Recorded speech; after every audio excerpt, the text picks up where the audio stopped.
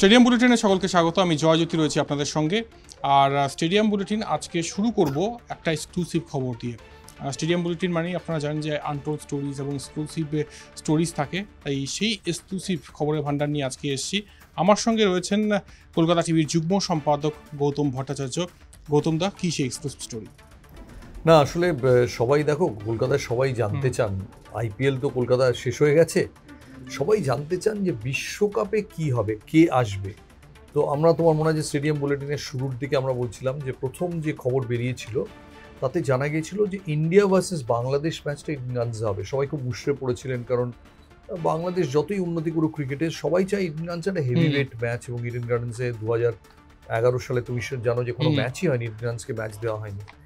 তো এখন শোনা যাচ্ছে যে Eden India versus South Africa match আয়োজনের দায়িত্ব পাবে এবং এই পুরো ব্যাপারটা চূড়ান্ত হবে। অ্যাকচুয়ালি চূড়ান্ত মানে রূপরেখাটা চূড়ান্ত হবে শিলমোহর পড়বে না। রূপরেখাটা চূড়ান্ত হবে পরশু দিন মানে সাতাশে মার্চ। এটা স্পেশাল এজিএম রয়েছে বোর্ডের আহমেদাবাদে। সাতাশে মে। সাতাশে মে sorry, মাফ করবেন সাতাশে মে রবি শাস্ত্রীর জন্মদিন। সেদিন সেদিন স্পেশাল এজিএম রয়েছে আইপিএল ফাইনালের শুরুর আগের দিনে সেই স্পেশাল এজিএম এ তুমি যদি এজেন্ডাগুলো দেখো তার মধ্যে কোথাও কিন্তু বিশ্বকাপের ম্যাচ নিয়ে আলোচনা নেই কিন্তু আলোচনা হবে। এবং বিভিন্ন স্টেট অ্যাসোসিয়েশনরা তারা তৈরি হয়ে যাচ্ছেন ভালো ভালো ম্যাচ তারা তারা যদি নিয়ে আসতে পারে নিজের সেন্টারে সবাই তার লক্ষ্য থাকে যে নিজের সেন্টারে ভালো ম্যাচ আনব। এখন অবধি প্রাথমিকভাবে আলোচনা তো চলতেই থাকে। এই ইন্ডিয়া ভার্সেস বাংলাদেশ শুনে সিএবি কর্তারা বেশ মুশড়ে গিয়েছিলেন এবং তারপরে তারা অভিষেক ডালমিয়ার মতো অনেকেই কথা টথা বলেছেন। এখন যেটা দাঁড়িয়েছে ঠিক এক্ষুনি মনে করো এক্ষুনি মিটিং শুরু হবে তার আগে তুমি আমায় জিজ্ঞেস করছ। আমি বলব ইডেনের ইন্ডিয়া ভার্সেস সাউথ আফ্রিকা এবং পাকিস্তান ভার্সেস বাংলাদেশ পাওয়ার সম্ভাবনা খুব উজ্জ্বল এই দুটো ম্যাচ। এবার নটা সেন্টার নটা ভেন্যু নির্দিষ্ট হয়েছে যেখানে ইন্ডিয়ার নটা ম্যাচ হবে। সেই ভেন্যুগুলো হচ্ছে চেন্নাই ব্যাঙ্গালোর গুয়াহাটি আহমেদাবাদ লখনৌ ধর্মশালা দিল্লি মুম্বাই এবং কলকাতা। অর্থাৎ ইডেনে ন দশটা টিম নটা করে ইন্ডিয়ার ম্যাচ এক একটা সেন্টারে এক একটা সেন্টারে একটা করে ম্যাচ যাবে। চেন্নাইতে এখন অবধি প্রাথমিকভাবে ঠিক আছে অস্ট্রেলিয়া। ব্যাঙ্গালোর সম্ভবত ইংল্যান্ড নিউজিল্যান্ড নত মুম্বাই। কলকাতা দক্ষিণ আফ্রিকার জন্য দাবিদার। এবার একটাই সমস্যা হচ্ছে যে যেহেতু পাকিস্তান ম্যাচটা আহমেদাবাদ করতে। চায় ইন্ডিয়া ভার্সেস পাকিস্তান কিন্তু তার কোনো নিশ্চয়তা নেই কারণ পাকিস্তান খেলতে চাইছে না। এবার এই যে পরশুর যে বৈঠকটা হবে তাতে দুটো জিনিস ঠিক হবে যে এশিয়া কাপে ভারত কীভাবে খেলবে এটা কিন্তু এজেন্ডার মধ্যেই আছে। এশিয়া কাপের ওই তখন যে ডিলিংসটা হবে যে ভারত কোথায় দুবাইতে খেলতে যাবে যাবে না পাকিস্তান বোর্ডের সঙ্গে সেই সমঝোতাতে ঠিক হবে যে আহমেদাবাদে পাকিস্তান আসবে কি আসবে না। যদি আহমেদাবাদে পাকিস্তান আসে তাহলে মোটামুটি যে সূচিটা আমরা কথা বলছি সেই সূচিটা রয়েছে। যদিও সিএবি সচিব স্নেহাশিস সিএবি প্রেসিডেন্ট স্নেহাশিস গাঙ্গুলি আমায় বললেন যে উনি আহমেদাবাদ যাচ্ছেন এবং উনিও শুনেছেন যে ভারত ভার্সেস দক্ষিণ আফ্রিকা বনাম ভারত ম্যাচটা ইডেন পেতে পারে, পাকিস্তান বাংলাদেশ পেতে পারে। স্নেহাশিস তাতে খুশি নন। উনি বললেন যে আমি যাব পাকিস্তান ভারত ম্যাচের দাবি জানাতে এবং একটা সেমিফাইনাল ম্যাচের দাবি জানাতে। কারণ আমি মনে করি যে এখানে ইংল্যান্ডে এত বড় বড় ম্যাচ আয়োজন হয়েছে এবং সত্যি উনি যে রেকর্ড থেকে বলছেন এটা তো সত্যি। যে উনিশশো সাতাশিতে Bharat Pakistan group league match এখানে হয়েছে প্লাস ফাইনাল হয়েছে। অর্থাৎ উনিশশো সাতাশি বিশ্বকাপে Bharat Pakistan match group league match এবং ফাইনাল দুটো এখানে এসছে। উনিশশো ছিয়ানব্বইতে সেমিফাইনাল এখানে। এসছে। উনিশশো দু হাজার ষোলোতে আবার ভারত পাকিস্তান ম্যাচ এবং ফাইনাল টি টোয়েন্টি বিশ্বকাপে। তো ইডেন গার্ডেন্স যদি এত সব ম্যাচ আয়োজন করে থাকে সফলভাবে এবং এমন একটা জায়গা কলকাতা যেখানে সবকটা টিম তারা খুব শান্তিপূর্ণভাবে খুব আনন্দে তারা খেলতে চায় কোনো প্রবলেম নেই হুম। নেই। সেখানে কেন তাহলে ইন্ডিয়া পাকিস্তান ম্যাচ এবং একটা সেমিফাইনাল দেওয়া হবে না? সেমিফাইনাল দেওয়া হবে না এই জন্যে প্রশ্ন উঠছে। কারণ সেমিফাইনাল শোনা যাচ্ছে ফাইনাল যেমন আহমেদাবাদে মোটামুটি ঠিক হয়ে গেছে। সেমিফাইনাল শোনা যাচ্ছে একটা পাবে বেঙ্গালুরু একটা পাবে মুম্বাই তাই যদি হয় এবং অবশ্যই চেন্নাই শ্রীনিবাসন চেন্নাইও দাবিদার। তাই যদি হয় তাহলে কি কলকাতা হাতে রইল পেন্সিল? সেটা তো হতে পারে না। তাই কলকাতা জোরদার দাবি জানাবে যে সাউথ আফ্রিকার দিন পাকিস্তান বাংলাদেশ ম্যাচ দিন হয়তো বাংলাদেশের আরও দু একটা ম্যাচ এখানে পড়তে পারে পাকিস্তানের গ্রুপ লিগ ম্যাচ পড়তে পারে। কিন্তু আমরা প্রাইমারিলি এই ম্যাচগুলো চাই। এবার দেখার যে স্পেশাল জেনারেল মিটিংয়ে সম্ভবত এই টুর্নামেন্টের একটা ফিক্সচার কমিটি গঠন করা হবে। যে কমিটি আনুষ্ঠানিকভাবে কোথায় কোন ভেন্যুতে কি ম্যাচ হবে তারা ঠিক করবে। এবং এটা তুমি বলতে পারো যে খুব আশ্চর্যজনক যে একটা বিশ্ব পর্যায়ের টুর্নামেন্ট অক্টোবর মাসে হবে তার তার যে প্রোগ্রাম ফিক্সচার কমিটি সেটাই এখনও ঠিক হলো না। মানে এটা ফিফা ওয়ার্ল্ড কাপে ভাবতে পারো। কিন্তু এখানে তাই সেই অবস্থাতেই রয়েছে যে ওই দিন সাতাশে মে সেদিন ঠিক হবে যে কারা প্রোগ্রাম ফিক্সচার কমিটিতে কারা থাকবেন তারপরে ঠিক হবে ভেন্যু তারা আবার মিটিংয়ে বসে হুম। ঠিক করবে। এবং আবার বলছি যে এখন অবধি ভারত দক্ষিণ আফ্রিকা কিন্তু অনেক হিসেব ঘুরে যেতে পারে যদি পাকিস্তান আহমেদাবাদে খেলতে না চায়। তখন সেখানে আবার আরএসি ওয়ানে আছে চেন্নাই। কলকাতা বলছে যে আমরা কেন আরএসি ওয়ান নই? কারণ আমরা তো ভারত পাকিস্তান ম্যাচ বারবার করেছি পাকিস্তান এখানে খেলতে এত ভালোবাসে। কিন্তু ঘটনা হচ্ছে এই যেটা তো ওভাবে হয় না ভারতীয় ক্রিকেটে কার শক্তি কত? সেই অনুযায়ী হয়। আর যারা ভারতীয় ক্রিকেটের ব্রাত্য তাদের একদম ছেটে ফেলা হয়। তো স্নেহাশিস তো থাকবেনই। সৌরভ গঙ্গোপাধ্যায় শুনছি ফাইনাল দেখতে যেতে পারেন। বিশেষ আমন্ত্রিত অতিথি হিসেবে বোর্ডের ফর্মার প্রেসিডেন্ট নিশ্চয়ই যাবেন। সবাই অভিষেক ডালমিয়া তিনি থাকবেন গভর্নিং কাউন্সিল মেম্বার সবাই মিলে যদি ইডেনের জন্য একটা জোরদার দাবি জানাতে পারেন তাতে অন্তত আর কোনোদিন পড়তে বা দেখতে বা আলোচনা করতে হবে না যে ভারত বনাম বাংলাদেশ সাথে ইডেনে ম্যাচ আসছে আমরা সবাই সেটা চাইব স্টেডিয়াম বুলেটিনের আমার মনে। দর্শকরা সবাই চান বড় ম্যাচ স্নেহাশিস বলছেন তিনি ভারত দক্ষিণ আফ্রিকা পেয়ে খুশি হবে না তিনি আরও বড় চান একেবারে এবং সেদিকে নজর থাকছে আমাদের যে কোন ম্যাচ পেতে চলেছে ইডেন গার্ডেন্স যেটা গৌতমদা বলেন যে nineteen eighty seven world cup final Eden Gardens হয়েছে এবং তারপর নাইনটি সিক্সে ওয়ার্ল্ড কাপ সেমিফাইনাল যদি ফাইনালটা নাইনটি সিক্সে ইন্ডিয়াতে হতো, তাহলে কিন্তু ইডেন গার্ডেন্সই হতো। সেটা গদ্দাফিতে হয়েছিল। আর সেমিফাইনাল ম্যাচটা কিন্তু ইন্ডিয়া শ্রীলঙ্কা সেমিফাইনাল ম্যাচে ইডেন গার্ডেন্সে হয়েছে। এবং এরপর দু হাজার এগারোতে আমরা বঞ্চিত হয়েছিলাম এবং সেটার জন্য আওয়াজ উঠেছে। অবশেষে গৌতম দা যেটা ব্রেক করল যে অনেক হিসেব এখনও পর্যন্ত অনেক হিসেব বাকি।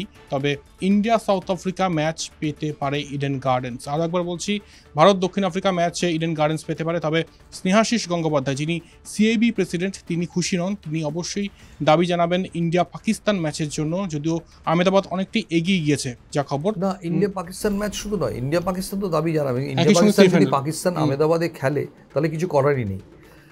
তিনি সেমিফাইনাল খুব ইম্পর্টেন্ট। চাইছেন একটা সেমিফাইনাল ম্যাচ ইংল্যান্ডসে হোক। সেটা যে এখন প্রথমে তো প্রেডিক্ট করা যায় না কোন সেমিফাইনাল এখানে খেলা হবে ভারত খেলবে কি খেলবে না।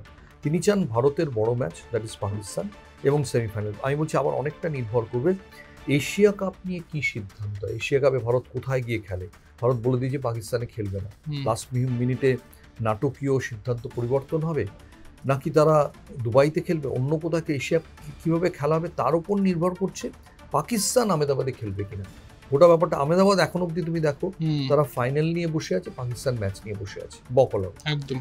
তো এই অবস্থায় কীভাবে ওই দিনটা যায় এশিয়া কাপ নিয়ে কী সিদ্ধান্ত হয় তার উপর নির্ভর করছে। কিন্তু ইডেন মনে করে যে তাদের সেভিংস অ্যাকাউন্টে সাউথ আফ্রিকা ম্যাচটা মোটামুটি আছে। একটা বড় ম্যাচ মোটামুটি আছে। এবার যদি সেটা এক্সচেঞ্জ হয় পরে হয়তো সাউথ আফ্রিকা গেল ব্যাঙ্গালুরুতে ইডেনে এলো ইংল্যান্ড। কিন্তু একটা বড় ম্যাচ এখন অব্দি ধরা হয়েছে অস্ট্রেলিয়া যদি চেন্নাইতে চলেই যায় ইডেন অস্ট্রেলিয়া ম্যাচও চেয়েছিল। অস্ট্রেলিয়া যদি চেন্নাইতে চলে যায় সেকেন্ড বেস্ট ম্যাচ এখানে দিতে হবে দ্যাট ইজ সাউথ আফ্রিকা। একেবারে ইন্ডিয়া সাউথ আফ্রিকা ম্যাচ পেতে পারে ইডেন গার্ডেন্স এখনও পর্যন্ত যা খবর। তবে এটাও জানিয়ে রাখি যে এশিয়া কাপে কি হয় সেটার উপরেও কিন্তু নজর রয়েছে। এশিয়া কাপের বাকি মানে এশিয়া ক্রিকেট কাউন্সিলের বাকি সদস্যদের আমন্ত্রণ জানানো হয়েছে। আফগানিস্তান শ্রীলঙ্কা বাংলাদেশ ক্রিকেট অ্যাসোসিয়েশনের প্রেসিডেন্টদের কিন্তু আমন্ত্রণ জানানো হয়েছে। আইপিএল ফাইনাল দেখার জন্য সেখানে পাকিস্তান বাদ রয়েছে। পরিষ্কারভাবে এখানে কিন্তু শক্তিটা দেখাচ্ছে জয়শা এবং বিসিসিআই। আরেকটা কথা খুব ইম্পর্টেন্ট সেটা হচ্ছে যে এই যে সাউথ আফ্রিকা ম্যাচটা সাউথ আফ্রিকা অ্যাপারেন্টলি তো খুবই স্ট্রং টিম সাউথ আফ্রিকা ইন্ডিয়ান্সের লোক খুশি হবে। তুমি যদি অ্যাকচুয়াল র্যাঙ্কিং দেখো ওয়ার্ল্ড চ্যাম্পিয়ন যারা টাইটেলটাকে ডিফেন্ড করবে তারা কিন্তু ইংল্যান্ড যারা রানার আপ তারা কিন্তু নিউজিল্যান্ড আমার সময় মনে আছে দু হাজার উনিশে লর্ডসের ফাইনালে কীরকম যাকে বলে ইংরেজিতে পালসেটিং ফিনিশ হয়েছিল। সো সাউথ আফ্রিকাও সত্যি স্নেহাশিস যে দাবি তুলবেন তার যথেষ্ট কারণ আছে। কারণ সাউথ আফ্রিকা হেভিওয়েট হলেও তুমি ইংল্যান্ড বলছো বেঙ্গালুরুতে চলে যাবে অস্ট্রেলিয়া চলে যাবে চেন্নাইতে নিউজিল্যান্ড চলে যাবে হয়তো মুম্বাইতে। তাহলে ইডেন গার্ডেন্স কি ওই তো বললাম ঘাস ছিটতে এসছে? একেবারেই। আর সব এই লড়াইটা কিন্তু যিনি লড়ছেন তার দিকেও নজর থাকছে। স্নেহাশিস গঙ্গোপাধ্যায় রয়েছেন এবং উপর থেকে অবশ্যই জগমোহন ডালমিয়াও কিন্তু দেখছেন। তিরিশে মে তার জন্মদিন দেখা যাক তার জন্মদিনের আগে সুখবর পায় কিনা এডেন গার্ডেন্স এবং কলকাতাবাসী। একটু অন্য খবরে আসব আইপিএলের খবরেই আছি। গতকাল আমরা দেখেছি এলিমিনেটরে performance Mumbai Indians versus Lucknow super জায়ান্টসের তবে একজন ক্রিকেটার এই মুহূর্তে ট্রেন্ডিং তার নাম আকাশ মাদওয়াল এবং তিনি ঋষভ পান্তের প্রতিবেশী সিভিল ইঞ্জিনিয়ার ছিলেন এবং তারপর ক্রিকেটটাকে বেছে নিয়েছেন প্যাশন হিসেবে এবং কালকে তার ফিগার পাঁচ রানের বিনিময়ে পাঁচ উইকেট কীভাবে ব্যাখ্যা করবেন? এলিমিনেটরে এরকম একটা পারফরমেন্স ভাবাই যায় না। সে পুরো একদম লখনৌ টিমটাকে শেষ করে দিয়েছেন আমি লখনৌ দেখতে দেখতে ভাবছিলাম জাস্ট কে কে আর সমর্থক হিসেবে যে দুটো টিম তুমি দেখো পাঞ্জাব কলকাতায় হারিয়ে দিয়ে গেল কলকাতাকে লখনৌ হারিয়ে দিয়ে গেল কে কে আরকে দুটোই ম্যাচ অনেক ক্লোজ ম্যাচ ছিল। এই দুটো ম্যাচ যদি কলকাতা জিততো আমরা কিন্তু প্লে অফে হয়তো কলকাতাকে হয়তো একটা একটা অন্তত জায়গায় কলকাতা যেত। তো এই দুটো টিমই কলকাতাকে হারানোর পর কিন্তু কোথাও একটা ওদের ফর্মটা নেমে গেল। লখনৌ তুমি দেখো লখনৌ কালকে প্র্যাকটিক্যালি স্টয়নিস ছাড়া দাঁড়াতেই পারে। এবং মুম্বাই টিমটা এখন মানে অবিশ্বাস্য যে জোফরা আর্চার নেই জসপ্রীত বুমরা নেই সেই অবস্থায় একটা টিম এরম খেলছে প্রথম দিকে খারাপ খেলার পর হঠাৎ করে একটা বোলারকে পেয়ে গেল। এই টিমটার একটা আইপিএল লাক আছে কিনা আমি জানি না। মহেন্দ্র সিং ধোনির সবাই বলে যে কপালটা এত চওড়া যে সেটা পা। অবধি চলে গেছে। আমার কোথাও মনে হয় রোহিত শর্মার কপালটা মেরিন ড্রাইভ অব্দি চলে গেছে। একেবারে। আর মুম্বাই ভার্সেস গুজরাট আগামীকাল সেকেন্ড কোয়ালিফায়ার কি মনে হচ্ছে? প্রেডিকশন কি? আমি মুম্বাই মুম্বাই ওই নকআউটে একবার উঠে গেলে মুম্বাইকে আটকানো খুব মুশকিল। মুম্বাইয়ের একটাই problem area that is Rohit Sharma. Rohit Sharma run পাচ্ছেন না। রোহিত শর্মা যদি রান না পান ওয়ার্ল্ড টেস্ট চ্যাম্পিয়নশিপে কিন্তু তিনি একটা চাপের মধ্যে থাকবেন। রোহিত শর্মার চাপমুক্ত হওয়াটা শুধু মুম্বাই ইন্ডিয়ান্স না ভারতের জন্য খুব দরকার। মনে রাখতে হবে তিনি ক্যাপ্টেন এবং ওপেন করবেন ওভারে একেবারে আর কোয়ালিফায়ার টুতে অবশ্যই দ্য হিটম্যানের ব্যাট চলে কিনা সেদিকেও নজর থাকবে এবং হিটম্যান যদি হিট করেন তাহলে কিন্তু মুম্বাই ফেভারিট ফাইনালে যাওয়ার ক্ষেত্রে বলছি। আর যদিও আমরা হিসেবের মধ্যে ধরলাম না একটি ছেলেকে যার নাম শুভমন গিল। সে যদি আবার খেলে তাহলে আবার অনেক হিসেব উল্টে যেতে পারে। তুমি যদি এরকম একটা আমায় অপরচুনিটি দাও যে গুজরাটের শুভমান গিল ভালো খেলেন আমি বলব তাহলে গুজরাট চ্যাম্পিয়ন হোক শুভমান গিল দুটো ম্যাচ সেমিফাইনাল ফাইনাল হারিয়ে দিয়ে চলে আসো। হ্যাঁ একদমই শুভমান গিল যেভাবে ব্যাটিং করছে, তাতে যা প্ল্যাকার্ড দেখছি, গিল সবকে দিল মে হ্যায়। তো এরকম প্ল্যাকার্ড দেখা যাচ্ছে এবং শুভমান গিলও ট্রেন্ডিং এই মুহূর্তে। Last segment this day that year আজকে একজন ভারতীয় ক্রিকেটারের জন্মদিন। তিনি অলরেডি আমাদের ছেড়ে চলে গিয়েছেন, রুসি সুরতি। কোনো আনটোল স্টোরি রুচি সুরতি আমরা শুনেছি যে যখন বার্বেডোস ম্যাচে নরি কন্ট্রাক্টর চোট পান তখন রুচি সুরতি উল্টো দিকে ছিলেন। খুব আনফর্চুনেট বার্বেডোস ম্যাচে ওখানে দেখেছি যে বার্বেডোস মাঠে এখন মাঠটা অনেক সংস্কার হয়েছে অনেক চেঞ্জ হয়ে গেছে। কেনিংটন ওভালে একটা সবুজ দরজা ছিল স্ক্রিনের পাশে ঠিক ঠিক স্ক্রিনের সাইড স্ক্রিনের পাশে সবুজ ছোট্ট দরজা। কলকাতা নর্থ কলকাতার অনেক বাড়িতে ওই ধরনের দরজা আছে কাঠের দরজা। যখন চার্লি গ্রিফিথ বোলিং শুরু করছেন রান আপে ওই দরজাটা কেউ খুলে দেয়। যেহেতু দরজাটা খুলে যায় ওর কনসেন্ট্রেশনটা দরজার দিকে নরি কন্ট্রাক্টরে চলে গিয়েছিল। এবং সেজন্যে উনি বলটা ভালো করে দেখতে পারেননি। এখন হয়তো উনি গ্রিফিথকে বলতে পারতেন যে থেমে যাওয়ার জন্য এখন অনেকে যেরকম দর্শক নড়লে সরে যায়। এত লাস্ট মিনিটে দরজাটা সরে গেছে সেই অ্যাডজাস্টমেন্টটা তিনি করতে পারেননি। এই দরজাটা আমায় দেখিয়েছিলেন সানি গাভাস্কার নিজে। কাজে কাহিনীর সত্যতা নিয়ে আমার মনে কোনো সন্দেহ নেই যে এই দেখো সেই দরজা যেটা নড়ে যাওয়ার জন্য লরি কন্ট্রাক্টের মাথায় লেগেছিল সেই সময় রুসি সুক্তি ছিলেন। ভারতীয় ক্রিকেটে এসব অমর কাহিনী প্রচুর রয়েছে কোনোটা ভালো কোনোটা ভালো না কিন্তু নরি কন্ট্রাক্টর নিজে আমার একটা মজার কথা বলেছিলেন যে সচিন টেন্ডুলকার জীবনে কতবার মাথায় খেয়েছে বলতে পারো বল? ভালো না। বলো আমি বলে দিচ্ছি নবার। নবার খেয়েও সচিন টেন্ডুলকার কি করে খেলতে পারল? ওটা হেলমেট বলে ব্যাপার ছিল। আমি একবার খেয়ে আউট হয়ে গেলাম। আর ও নবার খেয়ে থেকে গেল। একদমই গৌতম এখানে আরেকটা কোয়েশ্চেন সেটা হচ্ছে যে ফ্র্যাঙ্ক কোরেল যিনি ক্যাপ্টেন ছিলেন তিনি নাকি আগের দিন বলেছিলেন নরি কন্ট্রাক্টরকে যে চাক করে আমাদের যে বোলার গ্রিফিথ টি- সে খুব চাক করে তার বিরুদ্ধে সামলে খেল এরকম কিছু কি এটা আমি আমি জানি না এরকম কাহিনী। এটুকু জানি যে ওরেল প্রথম রক্ত দিতে ছুটেছিলেন যার জন্য সিবিতে আজও ফ্র্যাঙ্ক ওরেল ডে অবজার্ভ করা হয় ওরেলের জন্মদিনে। ওরেল একজন অবিশ্বাস্য ক্রিকেটার যাকে যেরকম শ্রদ্ধার সঙ্গে আজও বার্বেডোস রেখেছে তুমি অবাক হয়ে যাবে একটা জায়গায় একটা বার্বেডোস ইউনিভার্সিটির পাশে একটা উঁচু জমের উপর ও- ওরেলের সমাধি। ওরেলের সমাধিটা ধরা যাক মাটি থেকে দশ ফুট উঁচুতে। আর তার দুপাশে আছেন উইক্স এবং ওয়ালকার যাদের বলা হতো থ্রি ডাব্লিউ। Three W. এর একটা ডাব্লিউ একদম ওপরে। দুটো ডাব্লিউ নিচে। সবচেয়ে মজা হচ্ছে যে এভারটন উইক্সকে সমাধিস্থ করার আগেই কিন্তু তিনি ঘুরে দেখেছিলেন যে তিনি মারা যাওয়ার পর কোথায় থাকবেন। এটাও বোধহয় বিশ্ব ক্রিকেটে দ্বিতীয় নজির নেই যে একজন মানুষ জীবিত অবস্থাতেই তার সমাধি দেখে যাচ্ছেন। তাকে দেখানো হয়েছিল যে এখানে আপনাকে রাখা হবে ওরেল এবং ওয়ালকাটের পাশে কিন্তু ওরেলটা একদম এলিভেটেড ওরেলের জায়গাটা কমপ্লিটলি আলাদা বিশ্ব ক্রিকেটে। একেবারেই কী ভাবছেন? এরকম আনটোল্ড স্টোরিজ আর এক্সক্লুসিভ স্টোরিজের জন্য কোথায় আসতে হবে? আমাদের বলে দিতে হবে না আপনারা আপনা আপনি আসছেন এবং সেটা যা রেসপন্স পাচ্ছি তাতে আমরা অভিভূত। দেখতে থাকুন স্টেডিয়াম বুলেটিন অনেক ধন্যবাদ গৌতম দা আপনাকে। আর অবশ্যই আমাদের যে ডিজিটাল ব্রডকাস্ট পার্টনার রয়েছে ডেইলি হান্ট সেখানেও কিন্তু উঁকি মারতে ভুলবেন না। সঙ্গে থাকুন স্টেডিয়াম বুলেটিনের দেখতে থাকুন আইপিএল এর বাকি ম্যাচগুলো শোক করতে থাকুন নাইট রাইডার্সের জন্য। বাট আবার বাহবাহ দিন ভালো ক্রিকেট দেখলে। আজকের মতো আসি শুভরাত্রি।